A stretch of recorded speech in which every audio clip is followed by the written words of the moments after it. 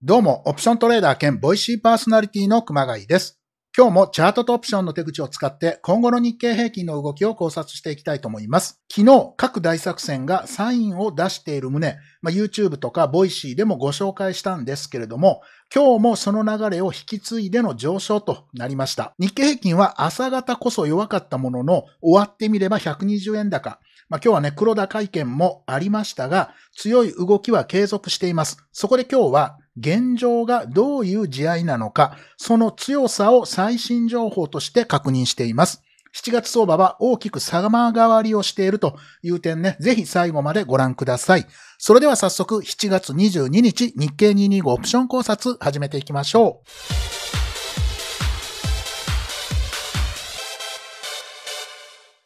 はい。それでは7月21日の相場概況からです。日経平均終値27,803円。122円高プラス0.44%、トピックス1950.59、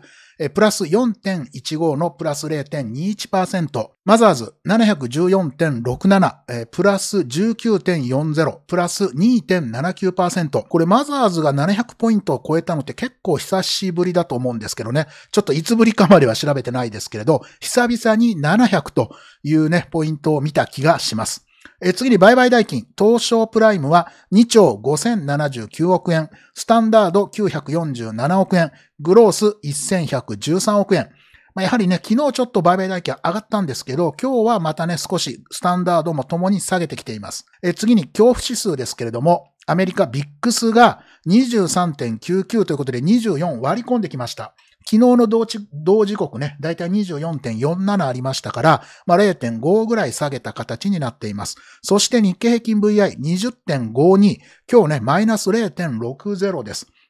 で、ここちょっとね、注目してほしいのは、昨日700円高でマイナス0.64でした。今日122円高でマイナス0.60ですからね。そういう意味では今日は大きくボラティリティが下がってきたという一日で、まあ、あのね、20代になってきました。これね、20を割り込むと今度はボラティリティを買うという方針でね、あの、また一つ戦略取れますので、20を割り込むような動きになった場合は、今度ね、そちらの方も検討していく価値が出てくるというふうに考えています。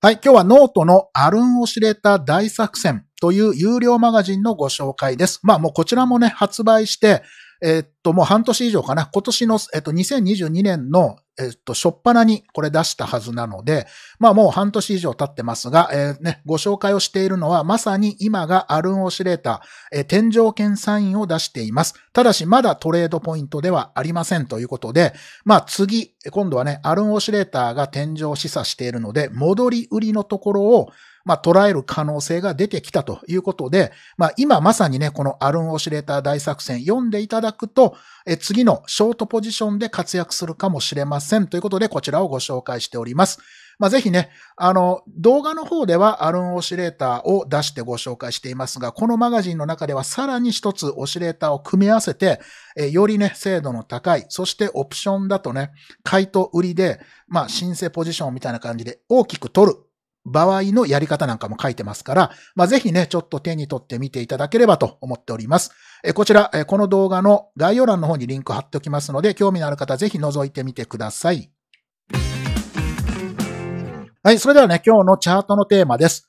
まあ、今日ね、あの、冒頭でもお話をしましたように、朝方弱かったんですが、午後に大きくね、まあ、上昇してきて、結局バンドウォークは継続しています。ですから下げても押し目買いが入ってくるような今試合になってるよということですね。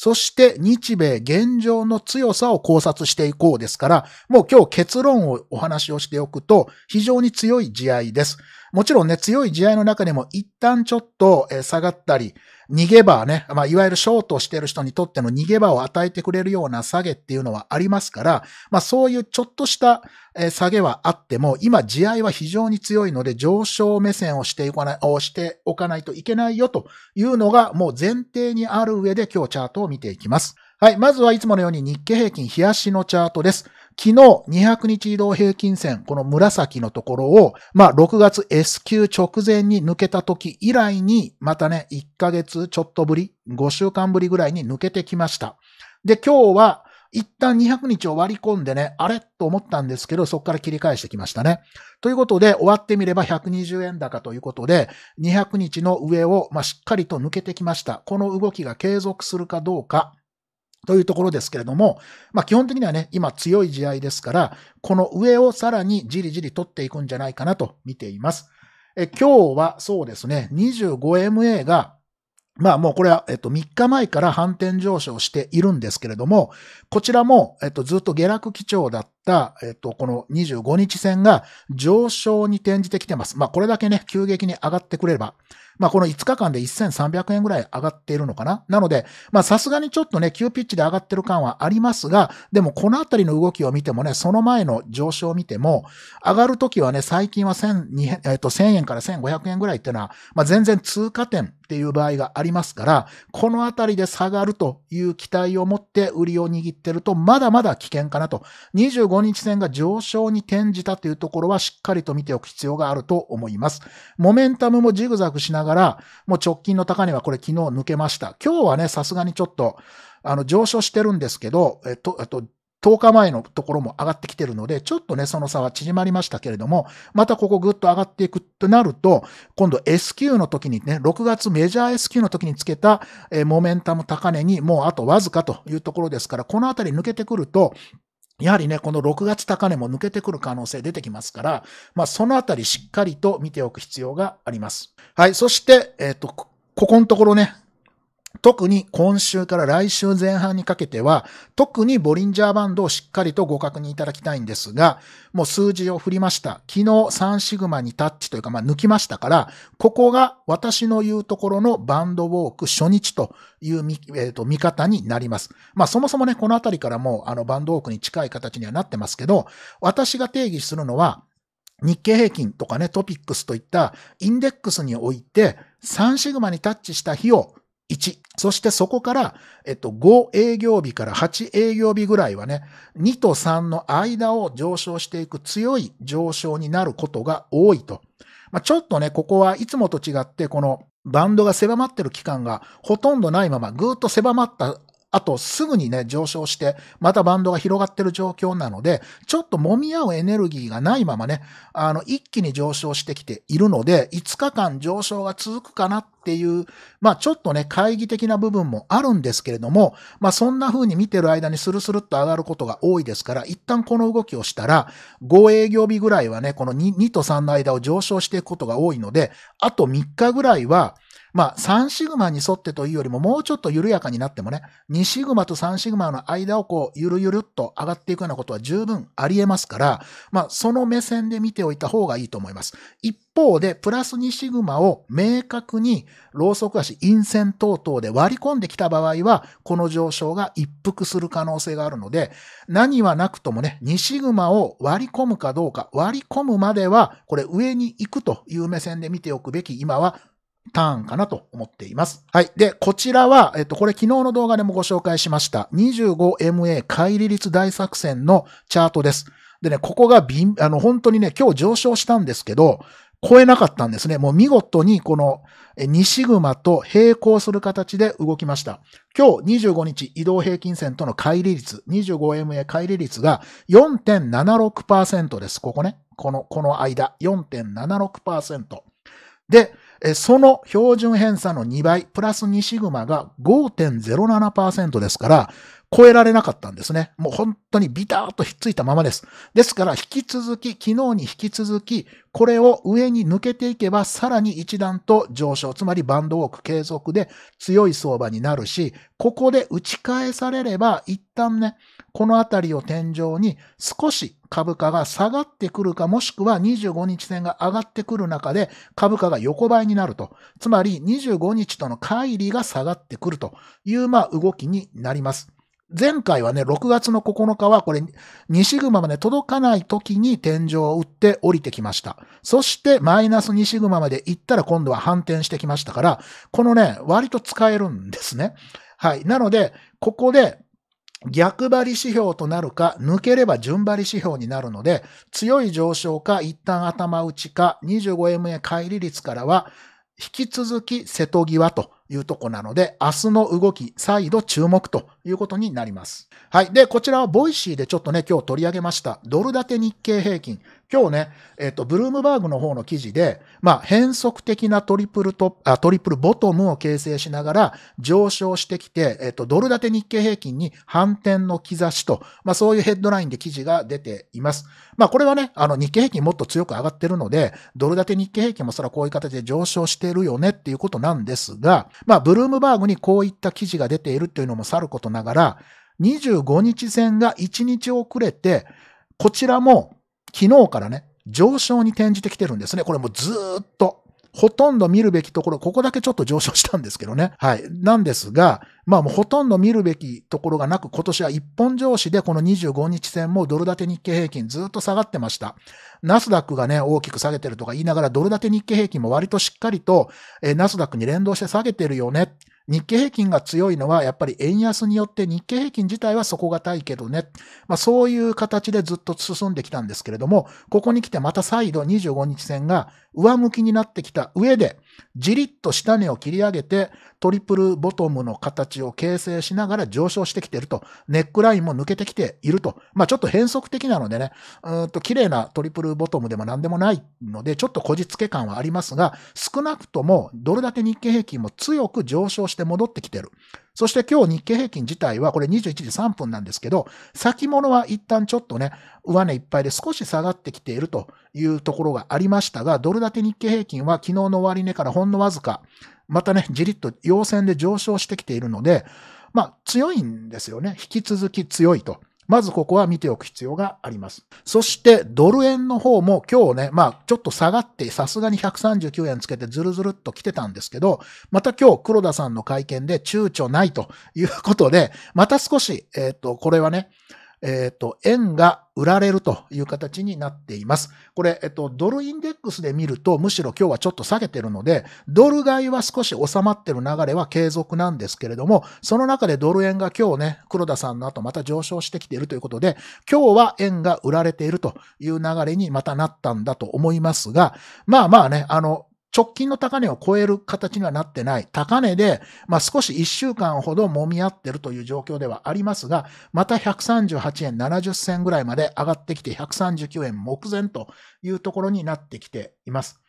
ね、なので、まあまあね、ドル円がまたしっかりと、まあしっかりとというのかね、またちょっと上の方に行きそうな中で、えっと、ドル建て日経平均自体も強くなってるわけですから、そうすると、まあ普通の日経平均っていうのは、この円安の流れがまた少しね、明日139円に乗せるような動きになってくるのであれば、日経平均そのものは、やはりしっかりと上昇しがちというね、まあ、このあたり、ドル建て日経平均とドル円のチャートを見ても、まあ、明日の日経平均は今のところ底堅いんじゃないのと、今日ナイトセッションでね、えニューヨークで大きく崩れない限りは、まだまだね、あの、天井を打った感はないよねと、直近のね、直近の上昇、戻り上昇の中で天井を打った感はないよねというのが、まあ、このあたりからも見えてくると。そして、えっと、こちらはグロースバリューです。大きくね、またグロースが強い展開になりました。今日はまあ日経平均もそれなりに強かったんですけれども、バリューの上昇よりもやはりグロースの方が上昇が強くって、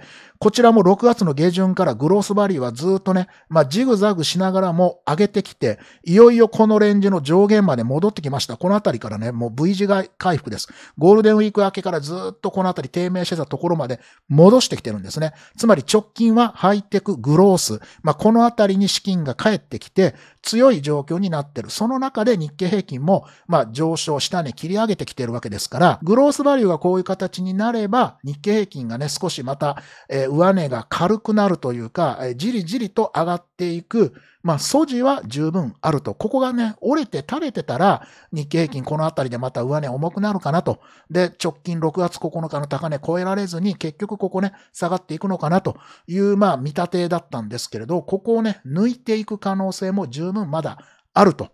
そして、こちらアメリカです。まあ、S&P500 はいいとして、下ですね。IVE、IVW。こちら、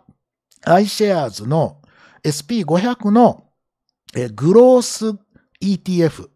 割るバリュー ETF ですね。ですから S&P500 の ETF を使った簡易版グロースバリュー指数ということになって、まあ、アメリカ S&P500 ベースで見ても、グロースバリュー指数、昨日ね、大きく上昇しました。もう25日線を抜いてからは、25日線の上でね、こう、右肩上がりで、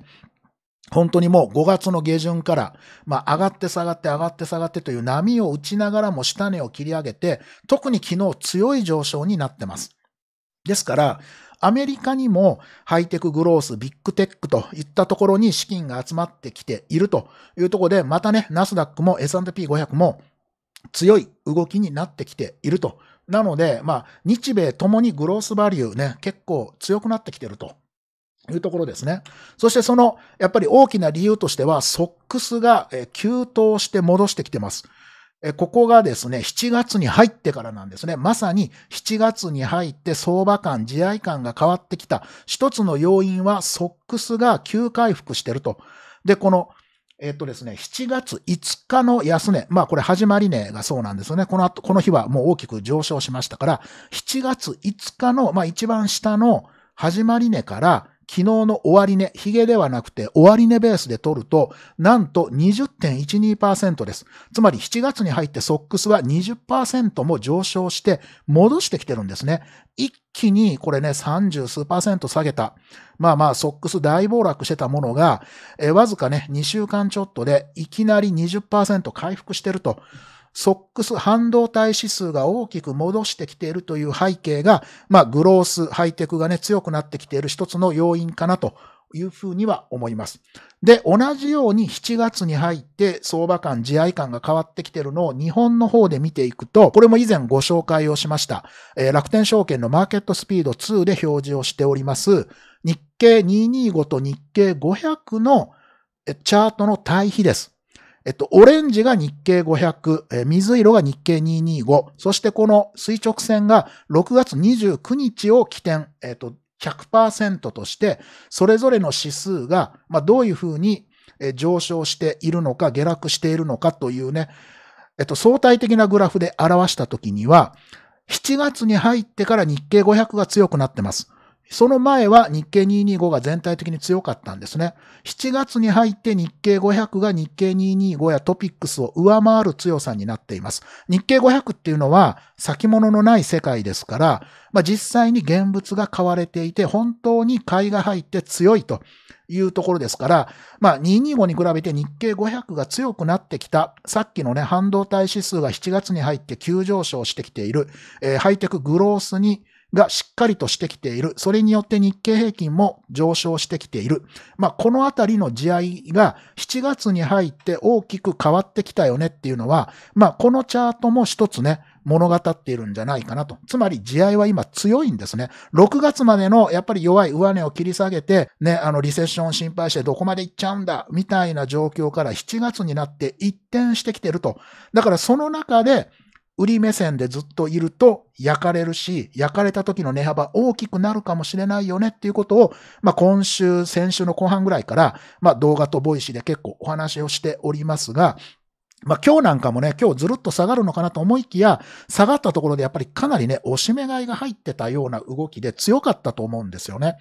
はい。ですから、全体的には上昇相場、しかも今は結構バンドウォークをするかもしれない。まあ今実際2日バンドウォークしてますから、非常に強い上昇の今フェーズにあると。ですから、ちょっと下がったところでしっかりと、あの、ロスカットなりね、売り方の方はね、ロスカットなり次の、あとまあ、ケアをするなりしておかないと、ちょっと下がって、もう下がるかなと思ったらね、その翌日にまた一気に勝ち上げられるというようなことが起こり得る今、強い地合いだというところは見ておいた方がいいと思います。はい。ということでまとめなんですけど、じゃあ、そうは言ってもね、上値の目処がどこなんだいというところを、まあちょっとおさらいをしておくと、まずね、週足2シグマ、今日は週足のボリンジャーバンド出してませんが、週足ベースのプラス2シグマが今28,099円ぐらいです。そしてもう今週は上昇してきているので、まあいわゆるね、来週から見た今週のあの2シグマはどのあたりかというと、おそらく28,160円ぐらいかなと。ですから、まず一つ上値目処としてはこのあたり。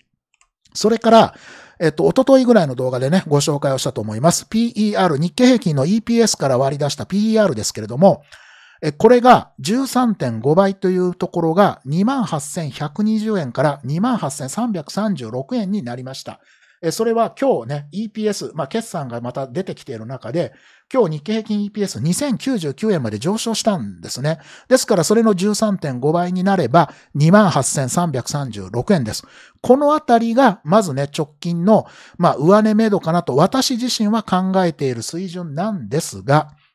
ここで書いたように、ただしね、現状はちょっと、えー、上昇トレンドとしてね、まあ短期ですけど、方向が出ているバンドウォーク中の相場であるということを考えると、えっ、ー、と、何円ね、ペケペケ円まで行ったら戻り売りしようとか、ペケペケ円まではなんとか売りを耐えようとかっていう価格ベースでペケペケ円を決めてると、やられる可能性があると思うんですよね。それか、一気にそこ抜けていくという感じの今相場になってますから、それよりはチャートで天井になったなというサインが出るまでは、これは上についていくと。つまりロングしている方はトレールストップを入れながらどんどん利益を伸ばしていくフェーズですし、ショートしている方は早めに損切りなり、えっと、ま、上の方のケアをね、して、ま、いわゆる止血をしておかないと、危険と。で、その止血をするタイミングは価格ベースではなくて、例えば、冷やしのプラス2シグマ、今バンドオークしてますから、2シグマを終わり値で割り込んだらとか、200MA をまた割り込んだらとか、まあそういうね、移動平均線とかボリンジャーバンドとかそういう価格がカチッと決まった節目のチャートでサインが出た時に、えっと、そこで天井だという判断をして、ロングの人は利確、ショートの人はそこからは耐えてもいいというふうに判断しておかないと、まあ、ちょっとね、このままスルスルスルっと上昇する可能性がある、非常に地合いは強いフェーズなんだというところを見ておくべきかなと思っております。はい、ここからはオプションの手口です。まあ、今日あんまりね、プラスマイナス出ていないんですよね。で、えっと、まず海外勢合算コールの方ですが、まあ、あの、若干の買い長、まあ、プットも買い長ではあるんですけれど、本当にね、えっと、3桁がここ27,500が101枚買われた。まあ、昨日103枚ですから、ほぼ同じ動きですけど、これ以外はほとんど2桁ですから、あまりコールの方でね、買いが出ていない。つまり、上の方にね、見ていくぞっていう強い買いが海外勢バランスとしては入っていないんですよね。え昨日28,500。ここのコールが1042枚買われたので、まあ、ちょっとね、ATM よりも上のところのコール買いが入ってきたことで、少しね、上もあるかなという状況ではあるんですが、今日1日の動きは少し落ち着いたということになっています。で、プットサイドも ATM からちょっと下の27,500のプットが今日も144枚買われましたけれども、ここも3桁はここだけ。プットもほとんどそんな強い買いにはなってないので、今日一日で見れば、コールもプットもやや買い越しですけど、昨日からそんなに大きく変わっていない。で、えっと、買いを見ると、26,500の方にプット買いがあります。28,500の方にコール買いがあります。ということで、まあまあ、それぞれね、今のその間の ATM よりも、えっと、上か下にどっちかに大きく動いてほしいバランスのままと。どっちにどれぐらい動くかというのはまだね、ちょっとよくわからない状況かなという気がします。はい、えゴールドマンですけど、ゴールドマン昨日に引き続き今日も一切オプションは触ってきませんでした。ですから、ここ2日全く変わってはいません。えなのでね、繰り返しになりますが、えっ、ー、と、2万7000円のところにコール買いのプット売り、しかもプット売りが1000枚近くあるというところで、まあまあ昨日今日触ってませんけれども、なので2万7000円よりも上、さらにその下、ね、2万6500から2万7000円のエリアで見ても、コール買いのプット売りがメインですから、まあ2万7000円よりも上という形でバランスをとってますから、今株価が上がってる分には、まあゴールドマンとしては、まあまあいいよと。なので、なんかね、その上さらにコールを買い入れるとか、プットを売り入れるみたいなことはせずに、まあ今週はいわゆる高みの見物というか、特にポジション入れてない、継続と、まあそんな形の状況になっています。はい、え次にアムロです。アムロは相変わらずガチャガチャやっておりますが、今日はコールもプットも買い長です。まあ、えっと、コールの方はね、えっと、売りと買いがほぼ同数に近いんですけど、若干買い長という形なんですが、えっと、27,750のコールは、これはもう買い戻しでほぼね、フラットにしてきているということで、ATM 近辺のコール売りはかなりフラットになりました。で、一方で28,500に、まあ、コール919枚、昨日726枚に続いて今日も大きく売ってきました。ただし今日はその125円上のところを771枚買いを入れているので、まあ1対1ではないにせよね。今日はちょっとバランスを取ってきておりますが、いずれにしても一旦ちょっと28,500っていうところに大きな売りを入れてきたので、まあ今ね、28,000に近づいてくるような ATM ですけれども、上は28,500よりは上は少ないんじゃないかというところで結構売りを入れてきている感じですね。で、27,000円にはコール買いのプット売りですから27,000よりも上というところでそこそこ強いポジションを入れているものの、コール、まあ27,000あ2万8000円までのね、この1000円の間に断続的にそこそこコールの売りは入れていて、ここの売りは焼かれているという現状ですから、まあそんなにね、2万7000円よりもあんまり上に行ってほしくないところを、ちょっと今上に行き過ぎてる感があるので、アムロとしては27,500円よりもちょっと下に来てほしい。